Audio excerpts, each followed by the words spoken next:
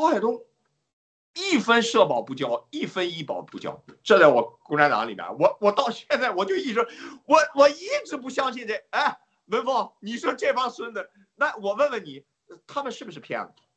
啊，你们这帮孙子不是骗子，我都不交，对吧？人你看透了，所以说这个郭文贵，这是你你口口声声是骗子，我们拿十万美金去投资，那你倒不骗了，我怎么不放在你那里面？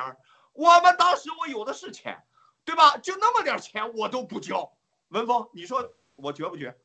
我就从来，你从一开始就看穿了他那个社保啊什么，就是一大骗局。不是不是，因为这帮孙子不靠谱，你懂吗？就是我的逻辑很简单，那我我的逻辑很简单，我可能没有说一开始没有一下子看穿他们啊那么。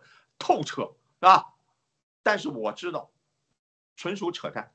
等着我需要，呃，拿你给我的钱的时候，没戏了。你就等不了，你等不着他给所谓的医保报销的嘛？这不扯淡吗？所有的都，哎，花一百块钱能报的就一块钱，他都告诉你，哎，这个药不好，那个药不如进口的，那反正你吃的这些、用的这些都是扯淡。都不行，对吧？你报不了什么东西，你只能自己花钱。而且这帮孙子就明着讲白了，真的就是抢钱，也